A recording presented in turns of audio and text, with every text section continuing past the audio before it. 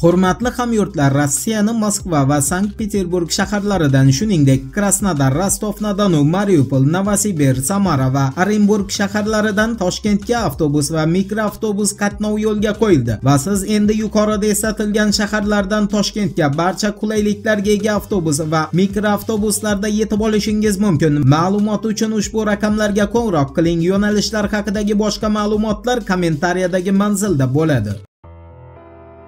Assalomu alaykum qadrdon muxlis. Siz bilan siz bilgan va kutgan kanal turfa olam ukrainani hafta ko'zgusi agentligining xabariga ko'ra 3 oktyabrdan 4 oktyabrga o'tar kechasi rossiya armiyasi baxmut frontida aniq lokatsiyada esa salyadar atrofida joylashgan va butun baxmut fronti uchun javob beradigan ukrainani butun boshli armiyasini yo'q qildi. Ammo hafta ko'zgusi agentligi rossiyani bu safar qanday quroldan foydalanganini ochiqlagan qilgan emas. Ukrainani qaytmas miratvorits agentligini qayd qilishiga ko'ra rossiya soledardagi baxmut frontiga javobgar qo'shin joylashgan hududga 1,5 tonnalik fab avia bombalari bilan zarba bergan va bu zarba butun boshli qo'shinni bomba ostida qolib halok bo'lishi bilan yakun topgan. Miratvoretsga ko'ra soledardagi qo'shin ichida chet ellik qo'mondonlar aniqrog'i esa nato qo'mondonlari soni ko'pchilikni tashkil qilgani bois zarbadan so'ng jarohat bilan haliyam nafas olayotgan qo'mondoni va instruktorlar Polshaga olib ketilgan.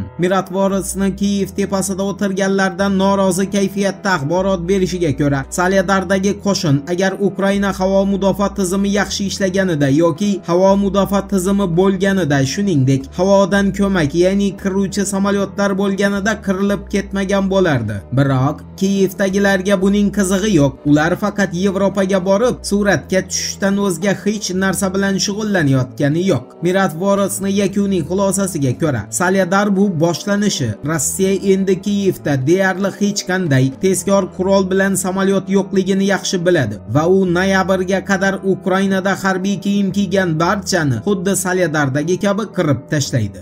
Endi qo'shma shtatlar vakillar palatasi spikeri kevin makkartini o'tirgan o'rnidan ovoz berish yo'li orqali ag'darilgani bilan bog'liq xabarga to'xtalamiz. Diqqat bilan eshiting wall street journal agentligining xabariga ko'ra 3 oktyabr kuni kongressman matt getsni rezolyutsiyasiga oid ilk bor amerika qo'shma shtatlari tarixida vakillar palatasi spikeriga impichment e'lon qilinib u ishdan olindi. Wall street journalga ishonilsa ukrainani moliyalashtirishni to'xtatdi to'xtatgan Kevin Makkartini Donald Trampni Respublikachilar partiyasi Baydenni Demokratlar partiyasiga sotilganlikda, to'g'rirog'i ular bilan ishlaganlikda ayblagan. Natijada Kevin Makkartini shakka teskari bog'lanib Kapitoliy binosidan olib chiqish uchun 214 nafar kongressmen ovoz bergan. Natijada Qo'shma Shtatlar vakillar palatasining Nancy Pelosidan keyingi spikeri Kevin Makkarti taxtdan ag'darildi va endi Wall Street Journalga ko'ra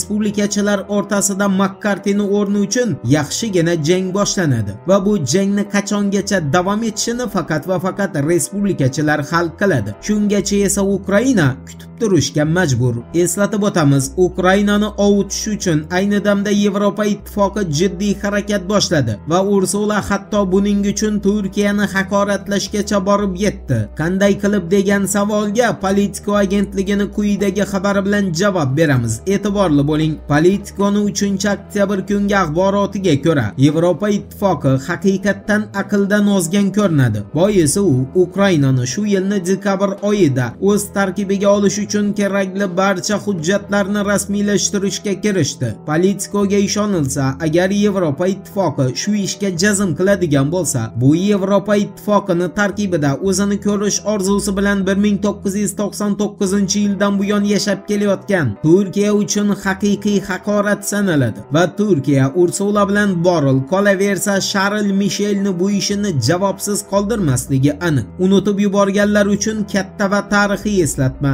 2021 yilni 7 aprel kuni ursula ankaraga yevropa kengashi rahbari sharl mishel bilan borganda ursulaga erkaklar bilan aniqrog'i erdogan va sharl mishel bilan bir qatorda o'tirishga ruxsat bermay uni bo'sag'aga alohida divanga joylashtirilgan. Bu aslida ursulaga sening joying erkaklar qatorida emas degani edi va ursula bu signalni tushunib ankaradan bryusselga bo'sag'ada o'tirib qaytgan. O'shanda ko'pchilik xususan ursulani o'zi ham erdo'g'anni yevropa ittifoqini mensimaganlikda ayblagan edi. Voqealar rivojini birgalikda kuzatamiz. Turfolam bilan qoling.